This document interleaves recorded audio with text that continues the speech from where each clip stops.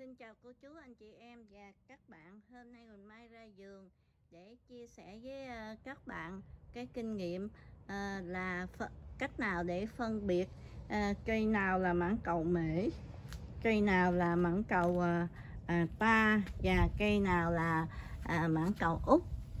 Thì ở đây uh, Quỳnh Mai có bốn cây uh, mãng cầu mà là mãng cầu con các bạn thì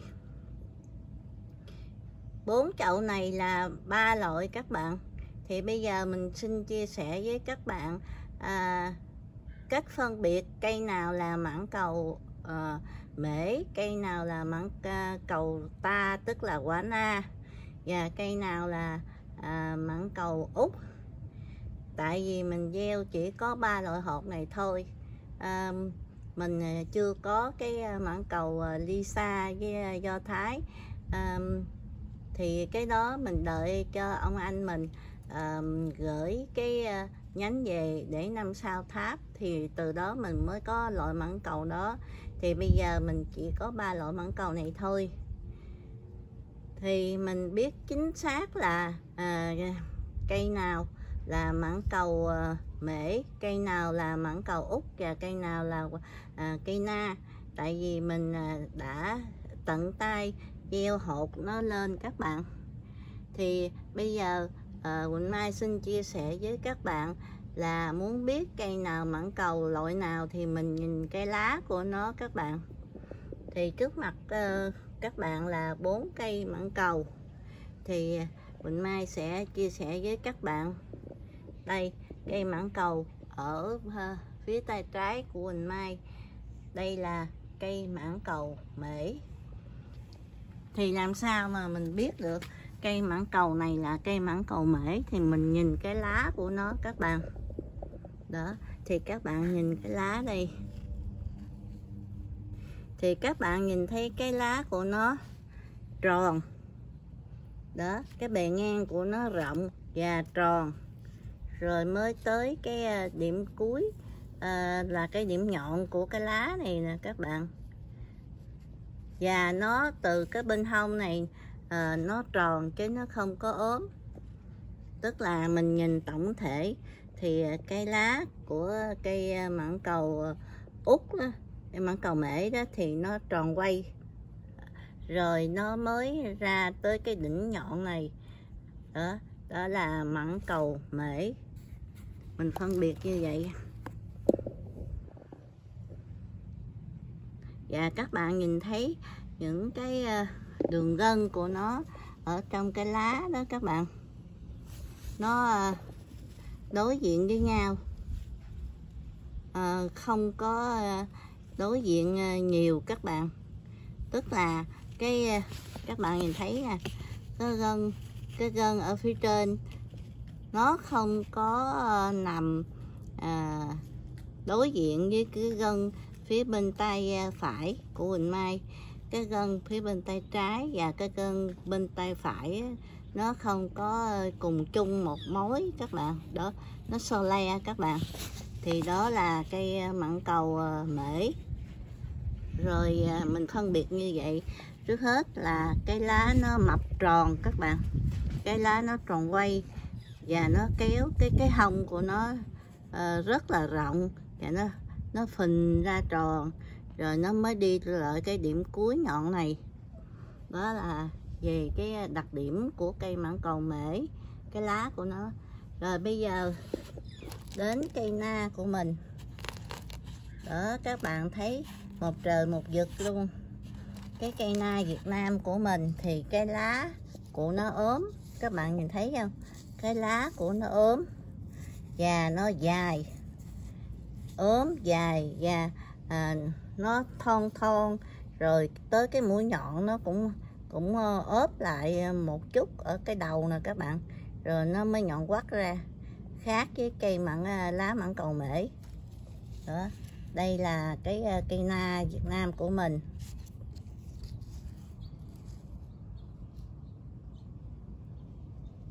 Rồi cái cây na của Việt Nam mình á cái gân ở trên cái gân lá đó các bạn. Cái đường gân lá của nó nằm hai bên à, nó cùng một mối các bạn. Đó cái cái đường chính giữa là cái đường xương cá đó cái như cái xương sống của mình đó. Thì bên đây một cái đường gân bên đây đường gân là hai bên đối diện với nhau. Và dọc theo cái đường xương cá này các bạn thấy hai đường gân nó nằm lối nối ờ, với nhau. Nó không có uh, như là cây ờ, mãng cầu mễ. Đó cái lá. Đây là cây na của Việt Nam mình. Lá nó hoàn toàn khác với cái lá mãng cầu mễ. Lá mãng cầu mễ thì uh, tròn quay rồi có điểm nhọn uh, ở đầu. Chỗ chính giữa thì phình ra còn đây là cây na Việt Nam mình thì nó thuôn nó dài. Đó nó thuôn nó dài và nó mới kéo từ từ thon ra phía cái đầu ờ, lá đầu nhọn đó các bạn. Thì cái đầu của cái lá ờ, cây na đó thì nó nhọn quắt luôn các bạn. Đó đó là na à, cây na Việt Nam mình. Rồi à, bây giờ mình có hai cây na các bạn. Cây này cũng vậy, thon dài và nhọn ra. Rồi bây giờ tới cây à, mảng mãng cầu út. Thì các bạn thấy cây mãng cầu út à, cây lá nó cũng lớn hơn cây à, cây na của mình. Nhưng mà nó lại nhỏ hơn cái lá của cây mãng cầu mễ. Và cái đầu lá nó lại thuôn dài và nhọn chỗ này các bạn. Còn mảng cầu mễ thì uh, nó tròn nó phình tròn rồi chỗ này nó phình ra tròn rồi nó mới ốp lại cái đầu nhọn. Nên điểm phân biệt của cây mãng cầu út là cái lá của nó thon hơn thon hơn là cái lá của cây mãng cầu ờ, mễ và cái đầu nhọn của nó lại thon và dài ra các bạn. Nhưng mà nó lại mập hơn cái lá nó lại mập hơn của uh, cây na Việt Nam. Đó cây la cây na Việt Nam thì cái lá nó uh, thon dài ra nhiều và cái mũi nhọn nó cũng uh, nhọn hơn. Đó các bạn nhìn thấy uh, phân biệt được rõ ràng. Nếu mình mình để sát lại các bạn thì các bạn thấy hai cái lá này khác nhau hoàn toàn. Đó một bên này thì à, mập hơn còn cây na thì ốm hơn cây cây na thì cái chỗ điểm này nhọn hơn chỗ này thon hơn rồi ra điểm nhọn. Còn cái à, cái cây lá của mận cầu út thì à, nó cũng nhọn ra nhọn ra. Các bạn chỗ, chỗ này nó ẹo lên một chút xíu chỗ cái đầu lá nó ẹo lên chút xíu. Và trên đây thì nó mập hơn cây na. Đó thì đây là cây na Việt Nam nè các bạn. Còn đây là cây mãng cầu mễ. Đó. À, cái lá mãng cầu mễ thì nó lại uh, mập hơn cái lá của mãng cầu út à, và cái điểm nhọn nó thì uh, rất là ít không có ẹo các bạn. Còn cái đầu của mãng cầu à, à út thì nó nó chỗ này nó ốp vô các bạn. Đó.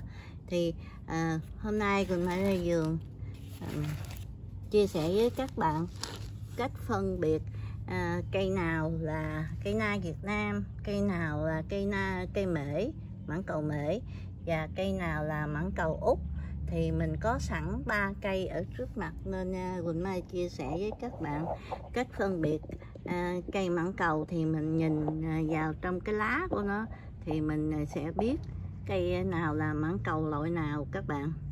Thì à, đây là những cây mãng cầu mà Quỳnh Mai gieo từ hột lên. Thì um, đây là hai cây na Việt Nam lá thuôn dài và đầu nhọn. Đây là cây mãng cầu mễ lá mập tròn à, và cái điểm nhọn thì ít. Còn đây là mãng cầu út à, lá ốm hơn mãng cầu mễ. Và cái chỗ đầu nhọn thì nó có eo lại chút xíu mới nó mới nhọn ra thì à, cái đó là mình phân biệt cây nào là à, loại nào các bạn. Thì bây giờ mình mai sẽ đi lại cái cây mãng cầu lớn cho các bạn xem nha. Đây là cây mãng cầu mễ của mình nè các bạn. Thì các bạn nhìn thấy cái lá của nó tròn quay hả? Và cái điểm nhọn à, cái cái điểm mà mập ra nó mập tới gần cuối nó mới nhọn chỗ đầu này thì đây là cây mãng cầu à, mễ đó các bạn. Thì cái cây này nó cao à, nó cao chắc cỡ một mét rưỡi các bạn. Thì mình nhắm chừng vậy và nó có rất là nhiều nhánh. Đó. Thì các bạn nhìn thấy cái lá của nó rất là lớn. Lá nó lớn to tròn và cái đầu nhọn của nó thì gần cuối nó mới nhọn ra các bạn. Đó. Thì đây là cây mãng cầu mễ mà Quỳnh Mai trồng để cho tới mùa xuân mình tháp cây mãng cầu à, ly Lisa vào các bạn. Đó. Thì à, mình à, chia sẻ với các bạn để phân biệt cây nào là mãng cầu mễ. Thì cây này là mãng cầu mễ đó các bạn. Rồi các bạn nhìn cái cái cây mãng cầu này, các bạn nhìn thấy cái lá nữa không? Đây là cây mãng cầu ờ, úc mà người anh mình ờ, gửi cho từ Cali.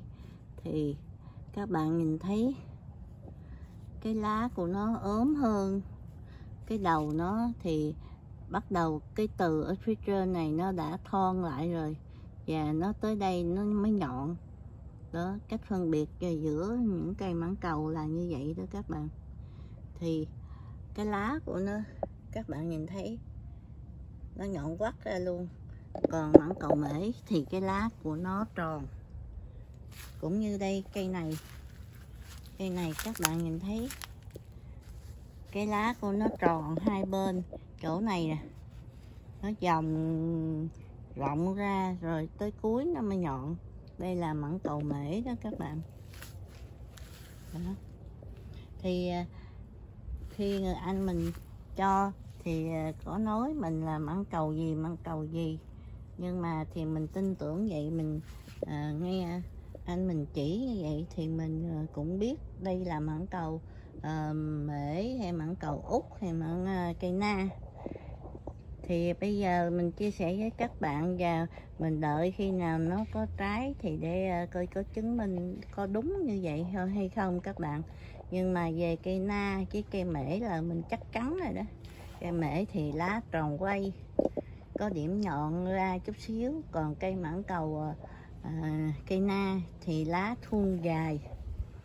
Còn mãng cầu út thì lá thon hơn mãng cầu mễ và tới cái điểm ờ, nhọn cái đầu ờ, tròn đầu ờ, cái đầu nhọn này thì nó hơi ẹo xuống một chút nó mới nhọn các bạn. Đó. vậy thì hôm nay Quỳnh Mai ra giường để chia sẻ với các các bạn cách nào phân biệt cây mãng cầu à, loại nào thì Quỳnh Mai đã chia sẻ với các bạn à, rồi.